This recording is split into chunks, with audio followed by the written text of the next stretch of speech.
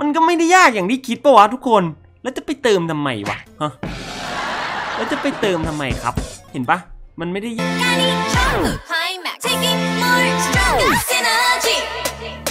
กราบสวัสดีท่านผู้ชมและผู้ติดตามทุกท่านนะครับผมวันนี้เราก็มาอยู่กับ e x o d Hero เหมือนเดิมนะครับผมซึ่ง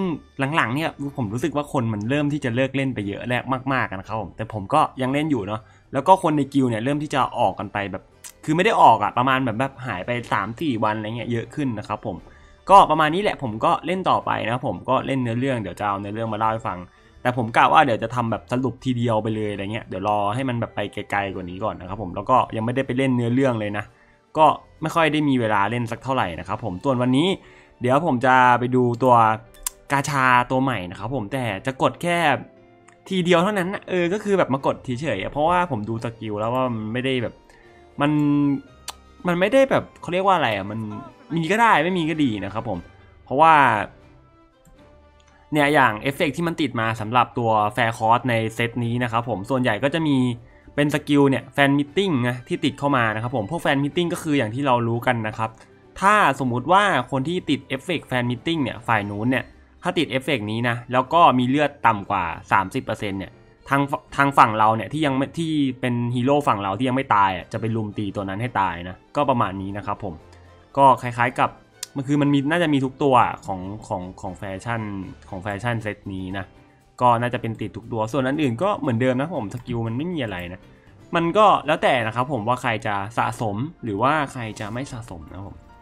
ดีดนิ้วไปอีกหนึ่งดอกนะผมเดี๋ยวดีดนิ้วก่อนปั๊บ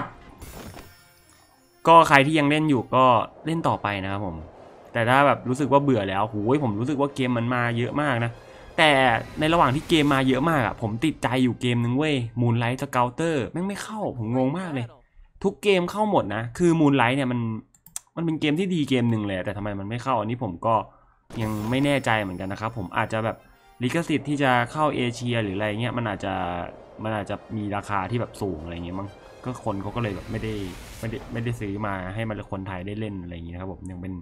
ของเซิร์ฟเกาหลีอยู่เนาะ แต่ลองใครที่แบบยังไม่เคยเล่นลองไปดูโอ้โหเฮียเกลือจริงขนาดผมไม่ได้ค่อยได้กดกาชามานานแล้วนะไม่งเกลือขนาดนี้เลยนะก็วันนี้ไม่ได้จะมาตัดจบเพียงเท่านี้นะครับผมเพราะว่าเราจะมาสุ่ม เป็นเขาเรียกว่าเป็นการสุ่มไอเทม R1 ของเรานะครับผมเป็นคลิปแรกของเราเลยก็ว่าได้นะ เพราะว่า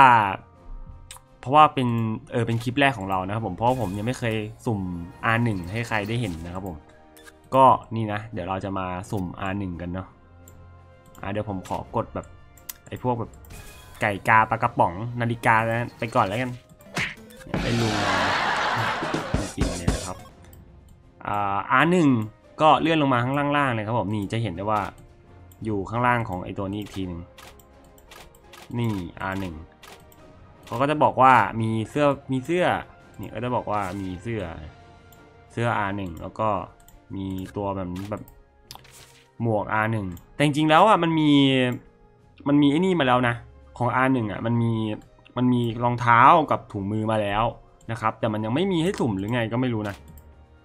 หรือว่ามันเนี่ยมันน่าจะยังไม่มีให้สุ่มนะครับผมรองเท้ากับถุงมือนะเนี่ยเป็นรองเท้ากับถุงมือ R1 นะครับผมเป็นของทองนะ แต่ก็คือเขียนว่า R1 อยู่ข้างบนนะครับ ผมเราก็จะนี่นะเราจะมาหาของ R1 กันนะครับผมอุปกรณ์ที่ใช้หาก็อย่างที่เห็นนะครับ มันจะเป็น ตัวที่เราไว้สุ่มของทองปกติ แล้วก็ตัวที่เป็นดันที่เพิ่มขึ้นมานะครับผมหลังที่จากที่จบเนื้อเรื่องไปไปเนื้อเรื่องใหม่ไปสักระยะระยะหนึ่งแล้วเนาะก็กดได้ 40 ครั้งนะครับผม แต่เดี๋ยวแบ่งเนาะเสื้อ 20 เสื้อ 20 หมวก 20 แล้วกันนะครับ กดทีละ5แล้วกันนะคือแบบเข้าใจว่ามันผมอะแบบกดผ่านผ่านไปอะจะผ่านได้แค่แบบสามประมาณสามวันนะถ้าผมจำไม่ผิดนะแบบกดแล้วผ่านเลยสามวัน แต่ถ้าแบบจะต้องให้มานั่งปล่อยอะไรเงี้ยผมไม่ค่อยมีเวลานะครับผมเดี๋ยวนี้ก็เลยไม่ค่อยได้มาเก็บแต้มพวกนี้สักเท่าไหร่นะไป ต้องมาแล้วนี่นะครับผมเป็นการสุ่มอาวุธ R1 มีคนถามว่ามีคนถามมาแบบจากคลิปเก่าๆนะว่าแบบเฮ้ยพี่อาวุธ R1 เนี่ยมันเขาเรียกว่าอะไรมันใส่ยังไงมันทำไมมันใส่ไม่ได้นะครับผมก็คือฮีโร่ต้องต้องเอาฮีโร่ที่ใส่ของทองอะเออคือจะต้องเอาฮีโร่ที่แบบ ฮีโร่เนี่ยใส่ของทองให้ครบทุกช่องก่อนนะเนี่ยไอของทองพวกเนี้ยใส่ให้ครบทุกช่อง แล้วก็เลือกตัวเม็ดเม็ดเม็ด rune ดีๆแล้วกันนะครับผมเม็ดเบรกอะไอที่มันเป็นเบรกไม่รู้มันเรียกว่าอะไรนะ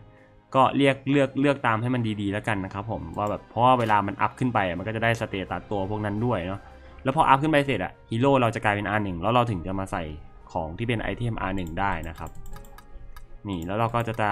มาสุ่ม ขายแพงอยู่นะ คือใครที่แบบมันจะมีคนแบบเติมอะเจ็ดร้อยห้าสิบจะได้แบบ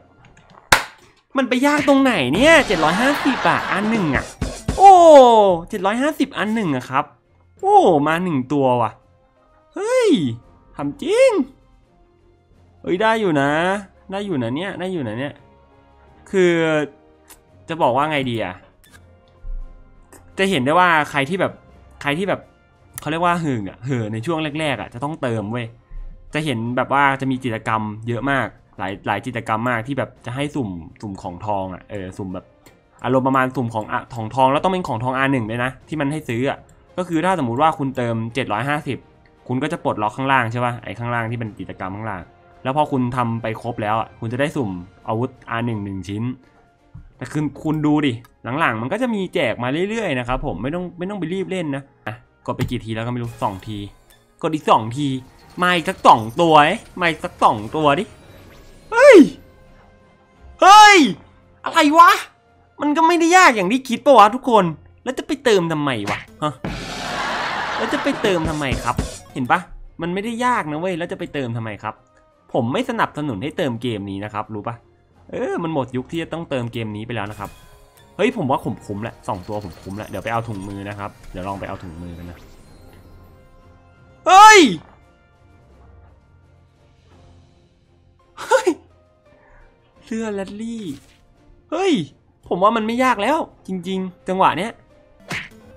เฮ้ยมันควรจะยากปะวะฮะมันควรจะยากปะวะ เฮ้ยเสื้อแม่งมารัวๆเลยว่ะผมไม่อยากจะกดเสื้อแล้ววะแต่แต่เดี๋ยวเราไปเอาหมวกกันดีกว่า นี่นะครับผมเหลือยี่สิบครั้งนะเดี๋ยวเดี๋ยวกดเอาหมวก กดเอาหมวกเลยนะ พูดเหมือนจะได้อะพูดเหมือนแบบพูดเหมือนออกแน่ๆอะพูดเหมือนออกร้อยเปอร์เซ็นต์โอ้โหเฮ้ยเฮ้ยผมว่าแม่งไม่ใช่แล้วเฮ้ยผมว่ามันไม่ใช่แล้วมันไม่ได้ยากขนาดนั้นแน่เลยกูว่านี่ผมตื่นเต้นอะไรของผมวะผมว่ามันไม่ยากขนาดนั้นแน่เลย เออ ผมว่ามันได้ง่ายว่ะ ของอันหนึ่งมันได้ง่ายนะครับ เอาเรียบร้อยเลยจัดบอกได้ง่ายแม่งไม่ออกเลยเฮียผมว่ามันได้ง่ายนะครับ ทุกคน นี่ผมได้ของอันหนึ่งทองมาต้องสามชิ้นแล้วนะ ถ้าไปเติมซื้อนี่ก็แบบชิ้นละเจ็ดร้อยห้าสิบบาทอะครับ อะไรวะ ไม่ออกวะออกมาชิ้นเดียววะพอบอกออกง่ายแม่งไม่ออกเลยเฮียเอ้ยออกยากไอ้เฮียมันออกยากเรียบร้อยโอ้ยหมวกแม่งมาใบเดียวอะ ก็ประมาณนี้นะครับผมแต้มนี้ก็นี่จะเห็นว่าแต้มหน้าตาจะเป็นประมาณนี้เนาะก็ลงดันนะครับ ผมลงดันรายวันเนาะเออเนี่ยลงดันนะครับ ลงดันอันล่างสุดเลยเออจะได้มานะก็ประมาณนี้แหละค่อยๆ เก็บไปนะครับผมไม่ต้องรีบ ที่ผมบอกว่าเนี่ยเติมใช่ปะสมมติว่ามันจะมีกิจกรรมแนวแบบอย่างนี้เว้ยมันจะมีกิจกรรมแนวอย่างเงี้ย แล้วก็เนี่ยคุณจะเห็นว่าเนี่ยอย่างนี้เลย เห็นปะ อันนี้ถ้าสมมุติเราทำครบเราจะได้สุ่มถุงมือถุงมือ R1 หนึ่งชิ้น ก็สำหรับวันนี้ก็มาเพียงเท่านี้นะครับผมใครที่ยังเล่นเกม Exode อยู่เนาะก็ก็เล่นต่อไปนะครับผมผมก็เป็นเกมที่สนุกอะ่ะเออผมก็พูดทุกครั้งว่าแบบกราฟิกมันดี เนื้อเรื่องมันโอเคอะไรเงี้ยประมาณนี้นะครับผมมาลุ้นว่า พระเอกเราเนี่ยมันจะได้แต่งงานกับนางเอกหรือเปล่านะผมจะเล่นจนกว่ามันจะได้แต่งงานกันกว่ามันจะได้กันกว่ามันจะมีลูกกันนะประมาณนั้นเออนะครับสำหรับวันนี้ผมก็ต้องขอตัวลาเพียงเท่านี้นะครับผมใครที่ชอบคลิปนี้ฝากกดไลค์กด subscribe ช่องไว้ด้วยนะเพื่อเป็นกำลังใจให้ผมทำคลิปต่อๆไปนะแล้วคลิปหน้าจะเป็นอะไรก็เดี๋ยวมารอชมกันเนาะสำหรับวันนี้ผมก็ต้องขอตัวลาเพียงเท่านี้นะครับสวัสดีครับบ๊ายบาย